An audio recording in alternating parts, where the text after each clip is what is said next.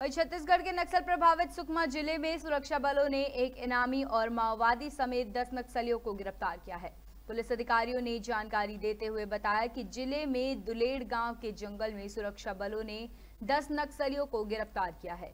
उन्होंने बताया कि ज़िले में चल रहे नक्सल विरोधी अभियान के तहत रविवार को जिला बल डीआरजी सुकमा और केंद्रीय रिज़र्व पुलिस बल के कोबरा बटालियन के संयुक्त दल को धुर नक्सल प्रभावित क्षेत्र दुलेड़ बोट्टीतोंग रासापल्ली, पीनाचंदी, ईरापल्ली और मिट्टामुड़े गाँव की ओर रवाना किया गया था।